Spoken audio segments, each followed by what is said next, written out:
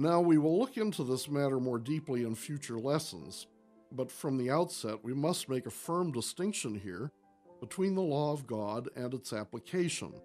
Библийн байр сууриас авч үзвэл ертөнцийн эзний бүх хуулийг Христийн дагалдагчид даган биелүүлэх нь хэвээрээ байгаа. Харин эдгээрийг хэрэгжүүлэх явц нь маш төвөгтэй байдаг. Үүнийг тухайн нэг нөхцөлд дуулууртай дагах нь өөр нөхцөлд дуулууртай дагахаас эрс ялгаатай байж болно. Гэхдээ бид үгээрээ хуулийг уян хатан хэрэглэхийг санал болгоогүй гэдгийг онцлон хэлэх хэрэгтэй байна. Библи өөр өөр хүмүүст өөр өөр зүйлийг хэлдэг бөгөөд бүгд адил хүчин төгөлдөр гэдэг нь огт худал юм шүү.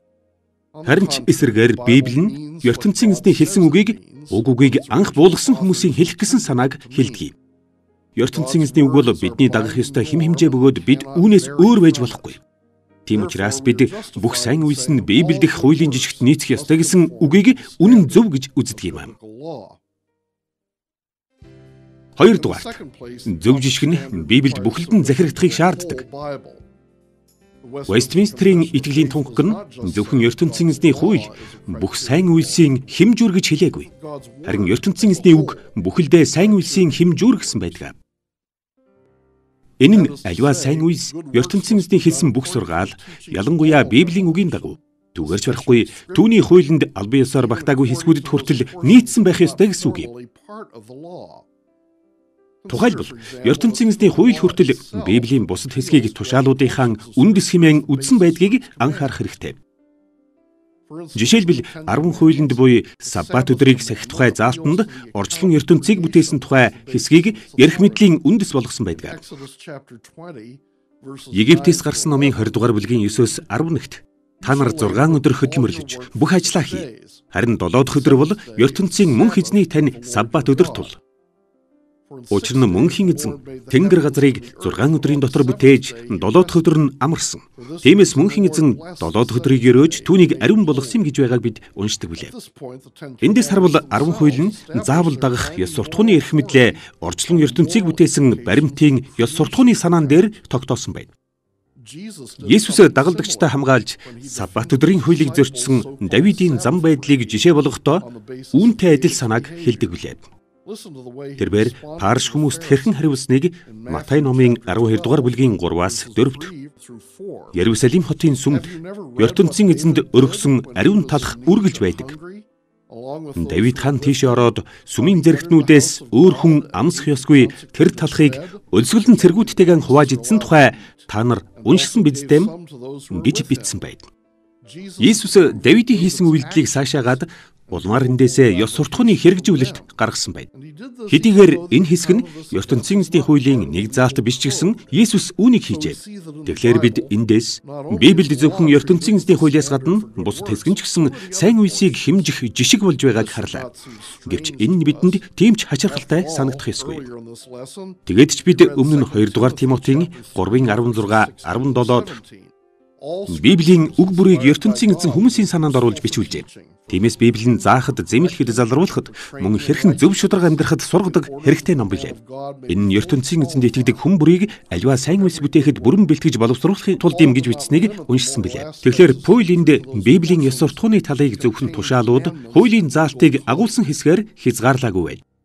Харин ч тэрээр Библийн үг бүр нь ёс зүг сургахад хэрэгтэй бөгөөд эдгээр нь биднээс ёс суртахуунтай амьдралыг шаарддаг хэмээн нотолжээ. Тийм учраас бидний бүх үйлдэл маань ёс суртахууны хувьд сайн байхын тулд Библийн үг бүрийн шаардлагатай нийцж байх ёстой юм. Тэгээд ч ертөнцийн эзний үг нь Библийн бусад хэсгээс илүү өргөн хүрээг хамардаг гэсэн санаа цухалдж байгааг бид бас дурдж байсан. Орчлон ертөнцийг хэрхэн бүтээсэн тухай ертөнцийн эзний хэлсэн үг нь Библийн нэг хэсэг болж ордог үлээ. Орчлон ертөнц буюу ертөнцийн эзний бүх бүтээлийг ерөнхий илчилт гэж нэрлэдэг бөгөөд энэ мөн сайн үйлсийн хэмжих жишг болдго юм. Энэ санаа хамгийн тод гардаг хэсэг бол Ром номын 1-р бүлгийн 20 билээ. Тэнд Пүй энэ дэлхийг бүтээсэн цагаас нь хойш хинч түүнийг ертөнцийн эзнийг олж хараагүй боловч байгаль ертөнцийн гайхамшигыг үзээд мөнхийн их хүчтэйзэн байгааг гарцаагүй мэдж болох байв. Иймээс ертөнцийн эзэнд шийтгүүлэх цагаан ирэхэд биеийн зөвдөх шалтгаан хүнд ч олдохгүй болно гэж бичсэн байдаг. Пүүл цааш нь хүмүүс энэ бүх бүтээл буюу ерөнхий илчилтээр дамжуулан ертөнцийн эзний ёс суртахууны жишгийг мэдэж авсан боловч гим хийхийг илүүд үтсэн хэмээн батлан бичдэг. Энд гол нь ийм санаа хэлжээ. ертөнцийн эзний ерөнхий хилчилтээр ил болсон жишгийг зөрчиж байсан учраас тэрээр хүмүүсийн үйлдэлийг буруу шаасан юм. Өөрөөр хэлбэл ерөнхий хилчилт нь ертөнцийн эзний үгийн нэг хэсэг учраас сайн үйлсийг хэмжих нэг шалгуур болдго юм байна. За одоо энэ бүхнийг товч дүгнэе. Сайн үйлс нь ертөнцийн эзний хуйлтай адил түүний хэлсэн үгтэй. Түүний бусад номтой мөн бүтээлтэй нийцэж байх ёстой гэж Библи заадаг.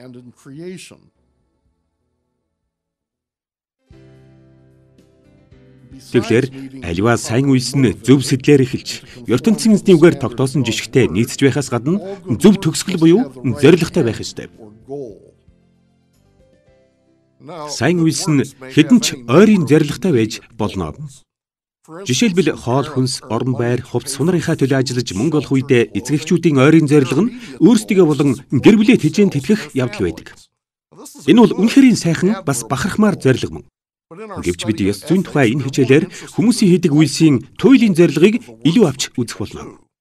Хэрв бидний үйлс нь ертөнцийн эзэнд таалагдахын тулд байвал гэр бүлдээ санаа тавих, эцэг эхтэй дуулууртай байх, саббат буюу амралтын өдрийг сэх зэрэг ойрын зорилгууд маань арай том дүр зургийн нэгэн хэсэг байх ёстой. Гол зорилго маань ертөнцийн эзэнд таалагдах амьдралаар амьдарч түүнийг алдаршуулах учраас бид энэ бүхнийг хийх ёстой юм.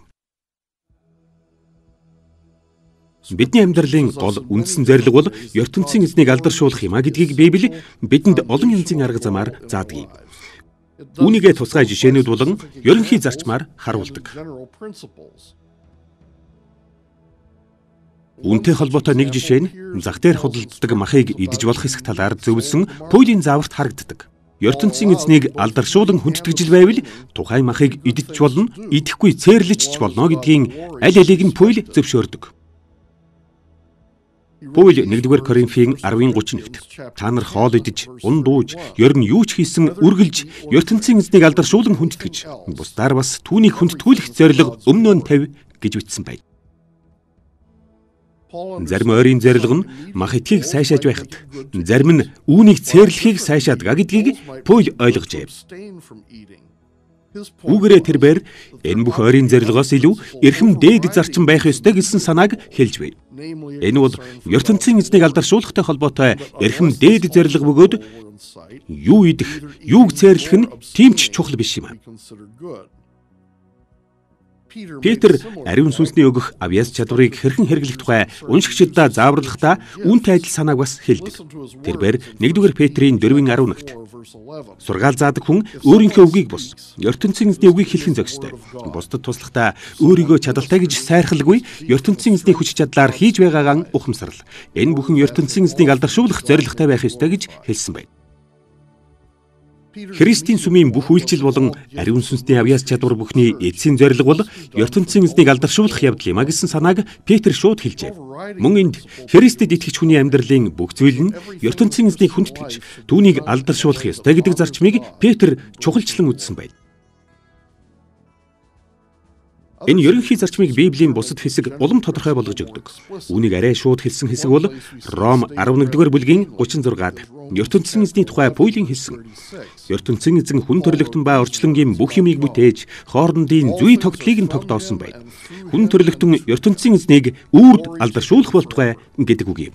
Орчлонгийн бүх юмыг бүтээсэн хэмээн түүний тухай багтаж ядсан баяр хөөрөн илэрхийлэхдээ энэ бүх юм гэдэгт бүх зүйл багтах бөгөөд эцсийн эцэст ертөнцийн эзний төлөө түүнийг алдаршуулан хүндэх зорилготой байдгаа гэж хэлж байна. Тэгээд Пол энэ санаагаа ертөнцийн эзэн үрд алдарч болтугай хэмээн дуу алдан тодорхойлжээ. Үнэн дээр энэ ишил нь ертөнцийн эзэн бүх бүтээлдээ алдаршиж байдгаа гэж хэлж байна.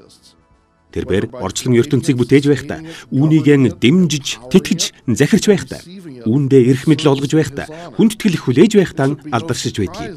Тэгэхээр тэрээр өөрийг нь алдаршуулж байдаг сайн үйлсийг сайшааж, түүний яруу алдрыг үл тоомсорлсон альва үйлсийг буруушааж байдагт гайх зүйлгүй байхаа. Эцсийн зорилго нь түүнийг алдаршуулах тийм л үйлсийг ертөнцийн эзэн хүлээн зөвшөөрч шагнадаг юм аа. Энэхүү бид Христэд итгэгчдийн ёс зүйн талаарх Библийн тодорхойлолтыг үзлээ. Бас альва сайн үйлсийг хэмжих Библийн гурван талт шалгуурыг үзсэн. Тэгвэл одоо энэ бүхнийг үндэс болгоод ёс зүйн альва шийдвэр гаргахдаа ашиглах гурван талт үйл явдлыг үздэцгээе. Бид эдгээр хичээлээр ёс зүйн шийдвэр гаргахдаа дахин дахин анхаарах бодит алхмуудыг судлах болно. Харин одоо бол дараагийн хичээлүүдээр илүү дэлгэрэнгүй тайлбарлах арга барилынхаа үндсэн зургийг гаргана.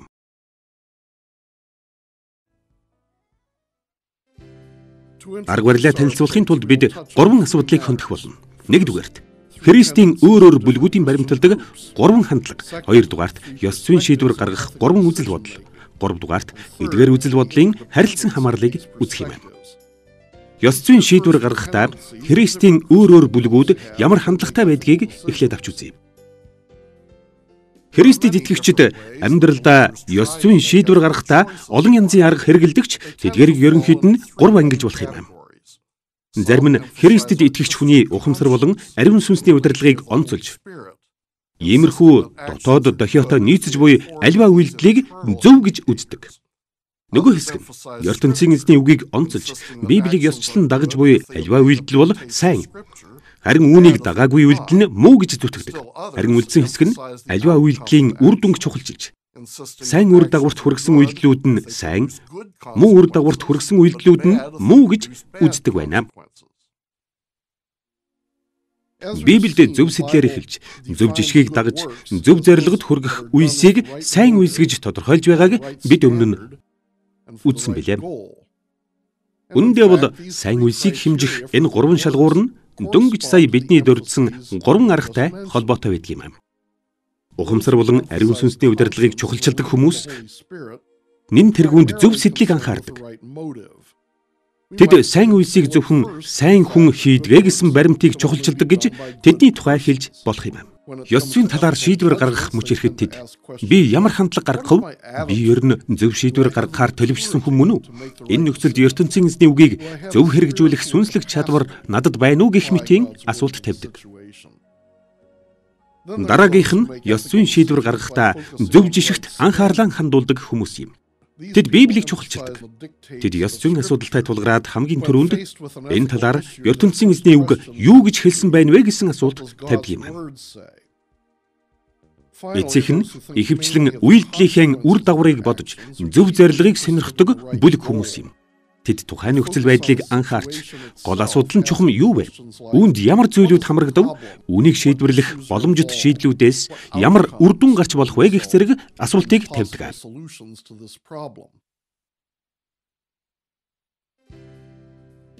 Шийдвэр гаргахдаа Христэд итгэвчдийн хэрэгэлдэг энэ гурван ерөнхий чиглэл нь Үүндээ бол бидэнд ёс зүйн бүх шийдвэр гаргах үйл явцыг төлөөлсөн гурван чухал үзэл бодлыг ойлгоход туслаж байна.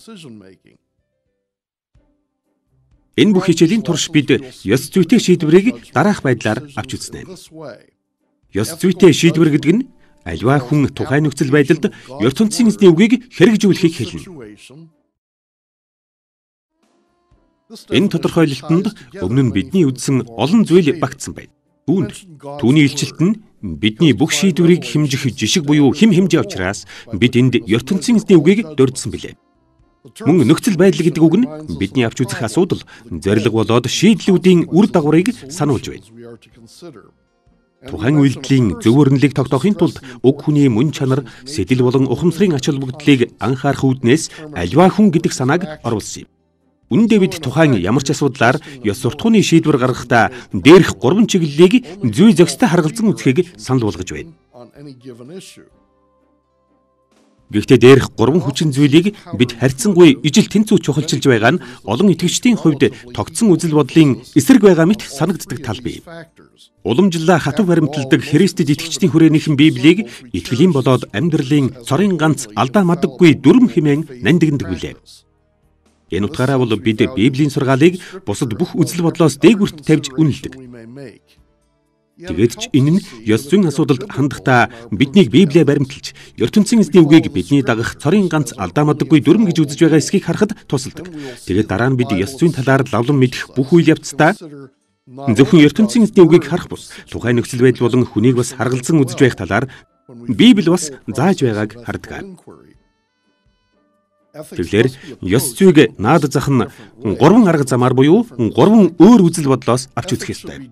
Ёс зүйг ертөнцийн эзний үгэнд хэрхэн бичснээр тухайн нөхцөл байдал болон уг хүний байр сууриас авч үзэх хэрэгтэй. Библийн хувьд авч үзвэл дээрх гурван үзэл бодол бүгд үн цэнтэй байдаг. Тийм учраас ёс зүйд дээрх гурван үзэл бодлоор хандах нь хамгийн сайн арга юм. Тухайн үзэл бодол бүр нь нөгөөгөө нь дэмжиж нөлөөлж байдаг бай. Бид ёс суртахууны аливаа шийдвэр гаргах бүртээ баримтлах буюу хандах гурван үзэл бодлын тухай ярина. Эдгээр нь нөхцөл байдалд хим химжээнд туршлагад тулгуурсан үзэл бодол юм. Бид эдгээр үзэл бодлын тухай дараа дараагийн хичээлд олон удаа үзэх болно. Харин одоо эдгээр хэтийн төлөв бүрийн үндсэн санааг үзнэ. Бид ёс зүйн талаар асууж лавлахдаа тухайн асуудалд үйлдэлийн үр дагаварт эсвэл зорилгод нь хандаж байвал бид нөхцөл байдалд тулгуурсан үзэл бодлоор ёс зүйд хандаж байгаа хэрэг юм. Энэ нь төгсгөлд буюу үйлдэлийн үр дүнд анхаарлаа хандуулдаг учраас үүнийг эцсийн зорилгоор тодорхойлогдсон арга барил гэдэг. Ёс зүйд нөхцөл байдалд тулгуурсан үзэл бодлоор хандах нь ертөнцийн эзний ажлын эцсийн үр дүнг чухалчилж ертөнцийн эзний зорилгыг хамгийн сайн ямар аргаар биелүүлбэл зохио гэх мэтийн асуулт асуудаг. Мөн ертөнцийн эзэн Есүс болон Библиэд өгүүлдэг ёс суртахууны хувьд сайн бусад хүмүүсийг жишээ болгон дагахыг уриалдаг. Ёс зүйн аливаа асуудалд бүтээлүүдээ химжээсгүй дээд эрх мэдлэр удирдан захирч байдаг ертөнцийн эзний удирдлага руу хандахыг уриалсан заавар өгдөг Библи хүртэл Ийм үзэл бодлыг үргэлж сонгож бидний хүртэл инкийг дэмжин сайшааж байдаг. Ялангуяа авралын үйл явдлыг дурдах эсвэл бидний зан чанарын үлгэр дуурайл болгож ертөнцийн эзэн Есүс болон бусад хүнийг заахдаа үүнийг баримталсан нь илэрхий байдаг. Жишээ нь Ром 6 дугаар бүлгийн 2-оос 4-т Паул тодорхой үе төгсгөл болсон учраас биднийг гэмээс ангид байх ёс суртахуунтай амьдарч чадна гэж нотлохын тулд биднийг гэмт амьдралын хувьд үхэж Иесустэй хамт бужлагдсан гэдгийг дурддаг. Бид гэмт амьдралдаа үгсэн атлаа хэрхэн гэмтээ хിവэр амьдарч болох вүлээ. Христ үхлээс дахин амьсан учраас бид түүний амь орсонтой холбогдож шинэ амьдралыг авах болно гэжээ. Ингэж хэлэхдээ Пуйл ертөнцийн эзний 10 хууль эсвэл бидний амьдрал болон санаа бодолд үзүүлж буй ариун сүнсний нөлөөнд гол анхаарлаа хандуулаагүй. Харин үүний оронд гмийн болчлоос чөлөөлсөн аврал болон аврагдсанаас эцэс болсон зүйл зэрэг нөхцөл байдлыг анхаарсан юм. Мөн Пуйл Ромын 6 дугаар бүлгийг ёс зүйд хандах нөхцөл байдал тулгуурласан үзэл бодлоор дуусгасан байдаг. Тэрбээр Ромын 6 дугаар бүлгийн 20-оос 22-т Та нар гэмт амьдралын боол байхдаа мөнхийн зовлонд орох шийтгэлийг авна. Гэмт амьдралаас ямар ч ашиг гарахгүй. Харин гэмт амьдралаас чинь чөлөөлж өгт нь та нар ертөнцийн эзний боол болж ариун шударга амьдралыг эрхэмлэх болж мөнхийн амийг бэлэг болгон авна гэжээ. Паул уншигчдаа ариун ёс суртахуунтай амьдарч урд өмнө үйлдэж байсан гэмээсээ салахыг уриалсан байд. Тэднийг ариун амьдралаар амьдрснаар мөнхийн амийг авна хэмээн нотлож байлаа. Тэрбэр энд мөн үр дагавар дээр үндэслэн ярьж байна. Харин энэ удаа ертөнцийн эзний дээдэлсэн амьдралын хариуд ирэх шагнал дээр анхаарлаа хандуулжээ. Петр бас ёс суртахууныг чухалчилсан зан чанарын талаар нөхцөл байдал тулгуурсан баталгаа гаргасан байдаг. 1-р Петр 2-р бүлгийн 21-с 22-т тэрбээр ингэж хэлжээ. Та нарт үлгэр дуурайл үзүүлэхийн тулд Есүс Христ өөрөө асар их тамлал зовлон туулсан юм. Петр энд зөв шударга байдлын төлөө зовлон туулах хүсэлтэй байх хэрэгтэй хэмээн итгэжтийг уриалгахдаа Библиэс иш татах юм уу? Зүрх сэтгэлд буй ариун сүнсний удирдлагын тухай яриаггүй. Харин үүний оронд авралын түүх, ялангуяа загламай дээр зовж зүдэрсэн Есүсийн жишээг дурдсан юм. Ёс зүйн хувьд Христэд итгэгчдийн зөнгөөрөө хамгийн их дагдаг нь бидний хим хэмжээнд тулгуурсан гэж хэлдэг тэр үзэл бодол юм. Хим хэмжээнд тулгуурсан гэдэг нь ертөнцийн эзний үгийг ёс зүйн хим хэмжээ буюу жишг гэж үзэх үзэл юм. Ёс зүйн асуудлаар Библи юу гэж хэлснийг харж байгаа бол бид хим хэмжээнд тулгуурсан үзэл бодлыг баримтлаж байгаа хэрэг. Жишээ нь ертөнцийн эзний хүндэтгэх зөв зөкстэй хүндэтгэлийг Израиль оронд сэргээхийн тулд Йосия хаан ард түмэндээ дээгүр өнгөрөх баярыг тэмдэглэхийг зааварчилдаг. Хадын дид номын 23 дугаар бүлгийн 21-р тэрбээр гэрэний энэ номонд бичсний дагуу ертөнцийн мөн хэзэндээ зариулан дээгүр өнгөрөх баярыг тэмдэглэл гэж хэлдэг. Тэрээр авралын түүх энэ үргийг биелүүлэхэд хүргэсэн нөхцөл байдал эсвэл ертөнцийн эзэн тэднийг дээгүр өнгөрөх баярыг тэмдэглэхийг дотроос нь хөтөлсөн зэрэгт бус. Энэ тэмдэглэлт өдрийг тэмдэглэхийг Библи өөрөө зааварчилсан гэдэг баримтанд үндэслэсэн байна. Йосия хаан мөшөхөр дамжуулан өөрийн ард түмэнд хүргэсэн ертөнцийн эзний хуулийн заалт дээр тулгуурлан тэднийг уриалжээ. Төлөөлөгч Йоган хүртэл итгэл болон зам байдлынхаа үндэс болгож ертөнцийн эзний тушаалыг дагахыг уриалахдаа хим хэмжээнд тулгуурсан үзэл бодлыг сонгосон байдаг. Энэ тухай 1-р Йоган 3-р бүлгийн 23-т. Миний хүү Есүс Христэд итгэж, миний үгийг дагаж, бие биедээ хайртай бай гэж ертөнцийн эзэн тушаасан гэж бичсэн байна.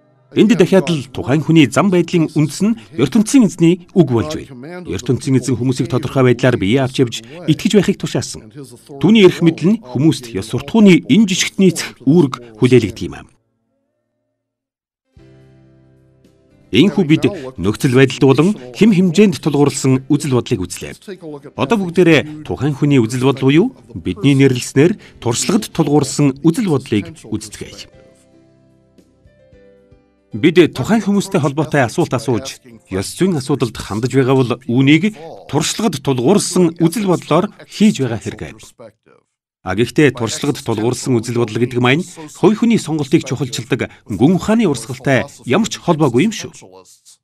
Харин энэ үзэл бодол нь тухайн хувь хүний амьдралын туршлагаар ёс зүйг авч үздэг гэж хэлэх хэрэгтэй байх. Туршлагад тулгуурсан үзэл бодол нь ертөнцийн эзэнтэй нүүр тулан харилцаж байгаа хувь хүнийг анхаардаг. Гэхдээ бид ийм үзэл бодлоор ёс зүйд хандахдаа ертөнцийн эзний эрх мэдлийг бууруулах эсвэл өөрсдийн мэдрэмжийн зөв бурууг ялгах дээд жишг болгон өргөмжилж байгаа хэрэг биш шүү. Харин ч үүний оронд бид би ариун амьдралтай болохын тулд хэрхэн өөрчлөгдөх ёстой вэ? Зэрэг асуулт асуудгийг.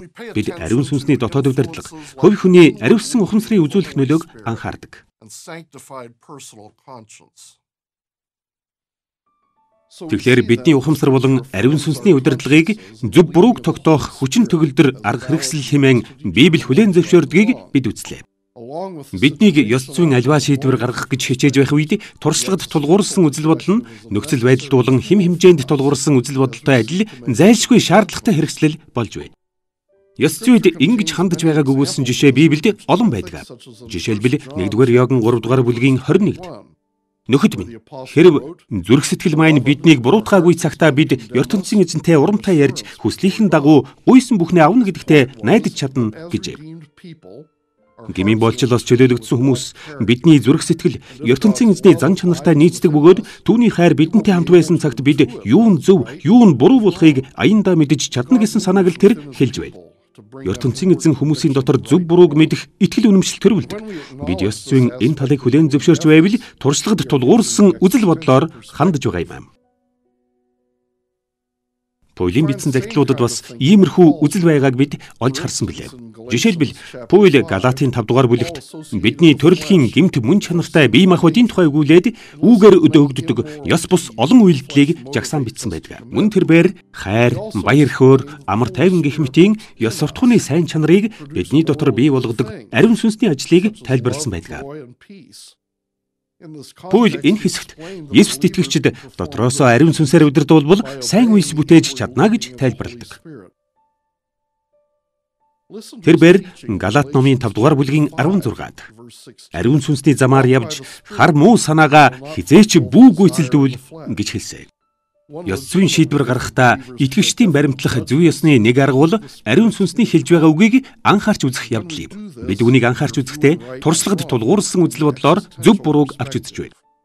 Пүүл Ром номын 14 дугаар бүлгийн 5, 14, 23 дугаар ишлэлд хэдийгээр бидний ухамсар төгс бус ч гэсэн ухамсараа дагахгүй байх нь гим химээ нотлож туршлагад тулгуурсан үзэл бодлыг ихэд чухалчилсан байдаг.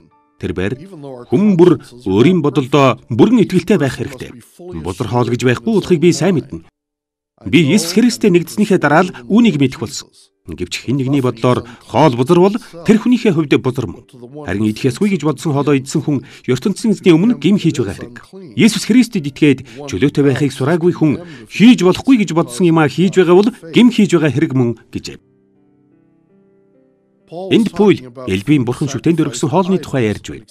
Христэд итгэж хүн өөрийгөө хуурамч бурхан шүтэж байна гэж бодоогүй бол ийм хоолноос идэж болно хэмээн тэр тайлбарлсан байдаг.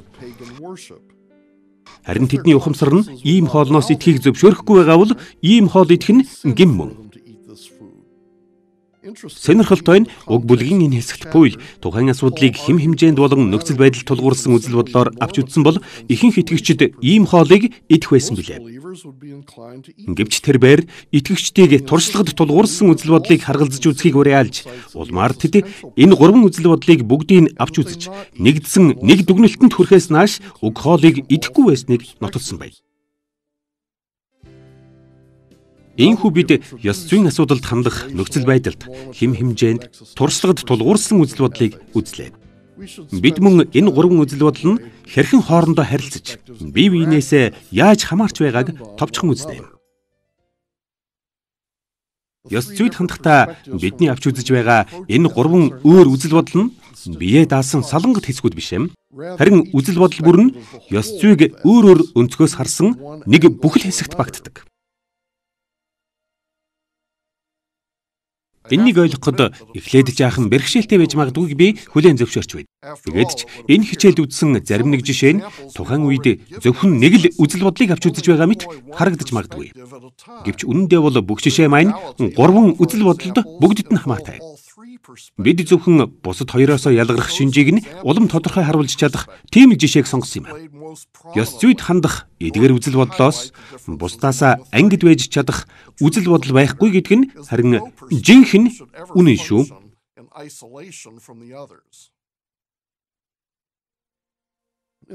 Эхлээд нөхцөл байдал тулгуурласан үзэл бодолд юу багтдгийг үздэг. Нөхцөл байдал нь тухайн ёс зүйн асуудалтай холбоотой хүмүүс болон уг асуудлыг үнэлж цэгнэх жишг болсон ертөнцийн эзний үг зэрэг бидний анхаарч үзвэл захих бүх баримтыг шаарддаг. Хэрвээ хүмүүсийн төлөөл биш юм бол ёс зүйг судлах нэгийнхэн ч хүн байхгүй байхсан. Хэрвээ энэ бүхэн ертөнцийн эзний үгтэй холбоогүй юм бол давын өмнө олон зүйл тодорхой бус байх байсан. Өөрөөр хэлбэл бид ёс зүйн альва асуудлыг нөхцөл байдал тулгуурсан үзэл бодлоор авч үзлээч гэсэн хой хүний болоод хим химжээтэй бодол санааг үргэлж харгалзаж үзэж байх хэрэгтэй гэсэн үг юм. Бид нөхцөл байдлыг ертөнцийн эзний үгээр харахгүй бол тухайн нөхцөл байдал хүмүүс бидэнд хэрхэн нөлөөж байгааг ойлгохгүй бол тэр бүхнийг үнэн зөв ойлгож чадахгүй. Хим хэмжээнд тулгуурсан үзэл бодлын тухай бас ингэж хэлж болно. Хэрэг бид Библийн үгийг өөрсдийнхөө нөхцөл байдал болон өөрсдөө хэрэгжүүлж чадахгүй бол Библийг үнэхээр ойлгож чадахгүй. Жишээлбэл хулгай хийж болохгүй гэдэг тушаал ямар утгатай болохыг би мэднэ. Харин ажил олгогчийнхоо мөнгнөөс завшиж буй надтай энэ ижил чинь ямар холбоотой болохыг би ойлгохгүй байна гэж хэлж байгаа хүнийг авч үзцгээе. Энэ хүн хулгай хийж болохгүй гэдэг ишлийн утгыг бүрэн ойлгоогүй нь илэрхий байна. Тэрээр хим химжээт шаардлагыг ойлгосон мэт боловч энэ ишлэлийг тухайн нөхцөл байдалд хэрхэн хэрэглэхийг ойлгоогүй байна.